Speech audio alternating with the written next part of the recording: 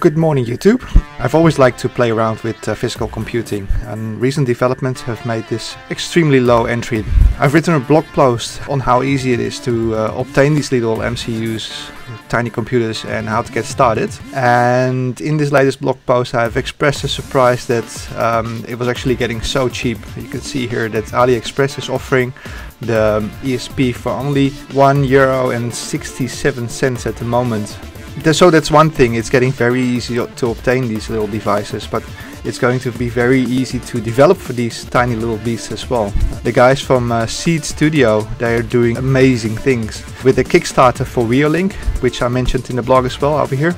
So the Wio Link is basically allowing you to plug in modular hardware modules that yeah you can actually slot in there and indicate which modules you have in which slot and then it automatically adjusts the firmware and uploads to the device however even uh, without their good stuff uh, it has really never been as easy to develop firmware for these devices. Um, it's I think also thanks to an initiative called Platform.io which have made things uh, really dramatically easy.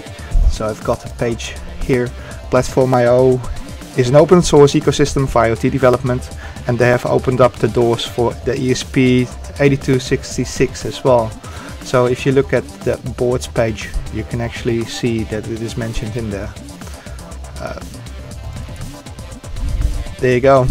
Espressif is supported and you've got the ESP01 and e ESP12E uh, by the way, this is still indicating the old ESP that has 512 kilobytes of memory, uh, which is a little bit little. Um, I would say if you can get the new versions that have uh, a, a, a, megabyte in there as well.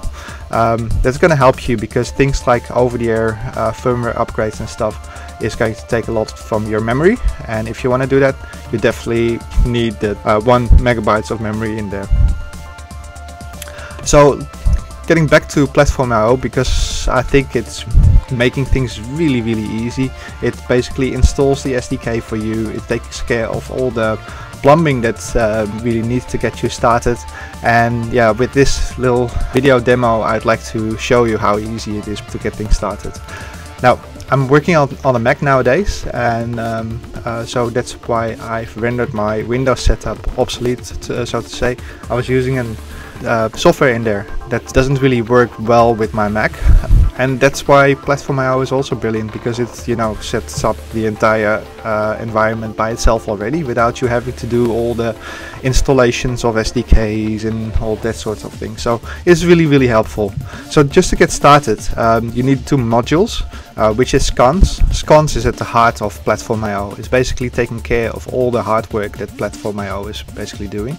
And Platform.io, you can see it as a set of scripts around SCons. Now to get started, it's really uh, the setup of uh, SCons as well as Platform.io of course.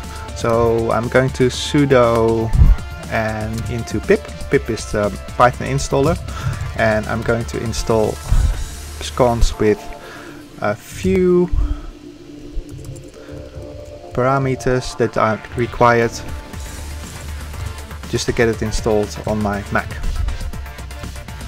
Install option.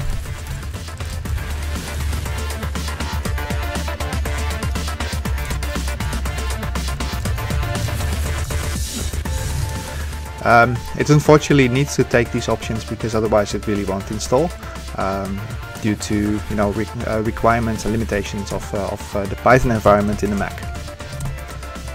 So here you go, it's starting to install. And after the setup has run, it has successfully installed it. So the next thing is that I have to install um, Platform.io itself, which also goes with pip install, and this is going to be much easier.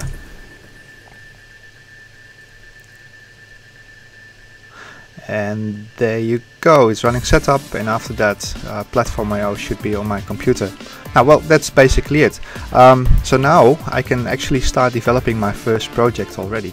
So I'm going into my work directory I think I've got the ESP which should be blank right?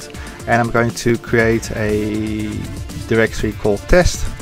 And in this test directory I'm basically going to build um, well in this case I'm going to build an Arduino uh, type uh, project for my ESP so that's going to be start kickstarted with platform IO platform IO init. Uh, the init function is setting up your uh, environment. And I'm going to say that this board that I'm using is a Node MCU. Um, I would advise to use Node MCU all the time even though it's not a Node MCU, it's for instance a plain ESP and it has to do with, um, with the reset. The reset command going from the ESP tool later can be either Node MCU reset or CK reset and on a Mac the CK reset doesn't really work well so if you're using a Mac definitely set it up to Node MCU because it uses the right reset sequence. So from here um, is basically setting up a skeleton of um, my application. I've got it here now and if I look in the directory that I've got I've, I can see git ignore, a Travis, a lib, platform.io and a source uh, directory. So the first thing I need to do is basically to start developing my application and I can start developing my application from the sources directory. So feeling a bit lazy and all, I think I'm not going to build that thing myself just to take it a bit easy.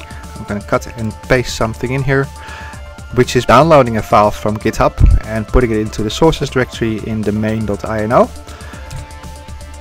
So here you go. I've now one file in my sources directory. There you go. Which is main.ino. And in this main.ino it's actually a source file that helps me to start building applications um, by having some preliminary uh, over-the-air firmware upgrading stuff in there. So now this is this is in the source directory. I can start basically compiling it and streaming it up to my to my device. So the next thing I should do is to modify the firmware a little bit so that it works with my Wi-Fi environment and then I can start uploading it. So what I'll be doing is launch Atom. So let's launch Atom. So here's my editor and I've already opened up the main.ino that I just downloaded. now from here I can see that I have an SSID that I need to fill in. I will key in my personal home SSID here and of course the password. And with this um, well you can see that it's actually starting with a setup um, over here the, the serial uh, port is being uh, taken care of and it will give a line that says that it's booting uh, from there it will uh, try to get a Wi-Fi connection if it doesn't it will go obviously in a boot loop so it will keep on booting until it's got a Wi-Fi connection then um, this is comments it will indicate that it's starting. This part is basically setting the handlers for start, end and to show the progress of updating uh, the firmware. Over here it's actually kicking off the over-the-air routines uh, indicating that it's ready for business and it shows the IP address which is really convenient because then you'll be able to get your environment such that you can update this particular ESP over the air. So the next thing is that you will have a loop that's basically handling all the over-the-air requests that are coming in. And eventually you'll be doing a lot more in this loop to you know handle your GPIO and to do web server events and that sorts of things. So this is basically a skeleton to get started with uh, over-the-air updating now the next thing is to get this into your ESP of course. So what I'm going to do is I'm going to back to my prompt and I'm going to run platform IO run which is taking care of the compilation of the firmware but I'm also going to upload it into uh, my ESP device that I've got um, the nice thing is I have not configured any ports or whatsoever. Um, it's going to try to find your USB port by itself. That's quite convenient because you don't have to set COM ports and that sorts of things. So the only thing that's left to do is to you know basically upload it and to run this. Um, now the thing is, um, I don't have the Espressif SDK installed yet, so it will immediately ask me to install it into my home directory somewhere. So yeah, I'd like to install that because otherwise I won't be able to compile anything. Um, now it's uh, installing it and that's actually done in quite short time as well. So you can see it download the frameworks for Espressif, uh, the, the ESP tool has been downloaded already. It's unpacking it. The toolchain. Wow, a minute and a half just flew by very very quickly. I cut a little bit short over there.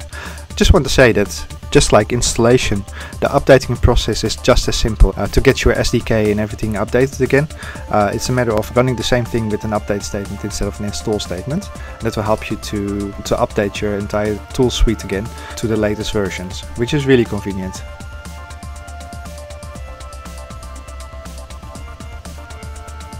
So what you see here is that my application is already compiling. Uh, the tool stack has been downloaded, SDKs have been downloaded and my firmware is uh, about to be ready.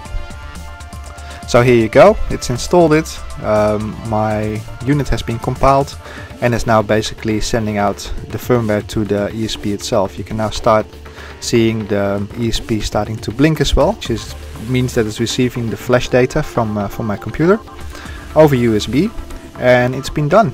In 159 seconds I've both installed the whole SDK as well as compiled my application the ESP platform and uploaded it into the ESP itself which is I think quite remarkable compared to what I did previously with OpenESP SDK which cost me at least a half an hour to just compile. So I'm going to make a tiny little change to the application to the to the firmware itself. I'm going to turn this into ready for business and then I'm going to run the whole uh, compilation process again. Then you can see that it actually takes a lot less time to compile it now because it doesn't have to download the platform anymore.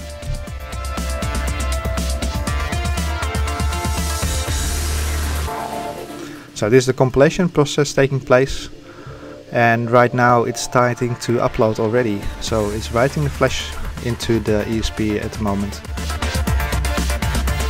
And once it's done Alright, it's been flashed. It took 30 seconds, well a little bit more than 30 seconds to compile it and to upload it into the chip itself. So with this, we should be able to go into the device on the serial port to see what it's basically doing. And this is the device itself. It doesn't show much because um, it's basically in a loop where it doesn't do anything except for handling OTA uh, requests.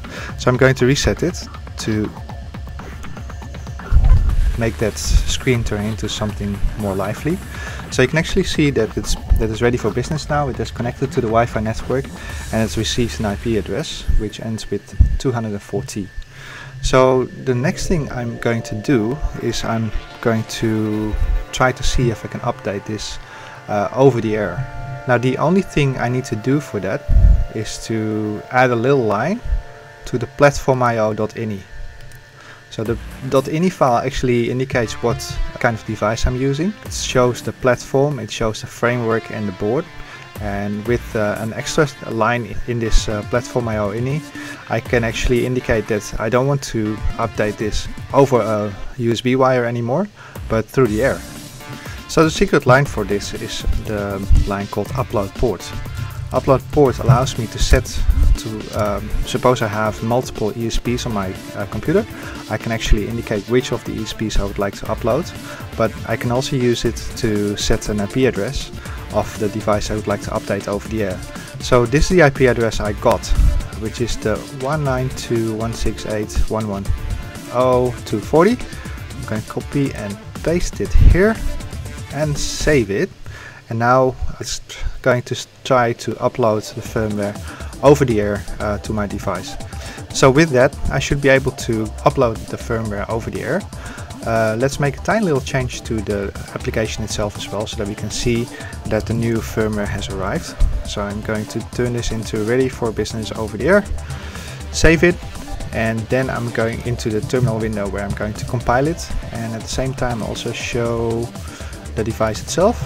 So it's going to quickly compile the application and upload it over the air on the IP address that I just specified.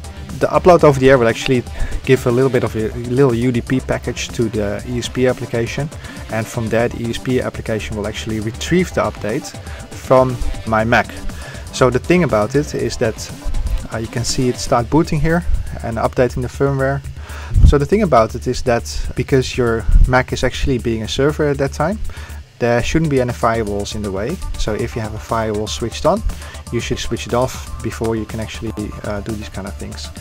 So the firmware has arrived, it has been installed and from there it has started booting again and now it says that it's ready for business over the air.